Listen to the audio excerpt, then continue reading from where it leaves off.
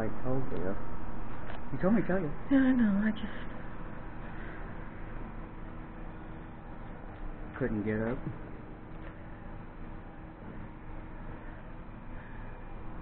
Chase was at it Um, early.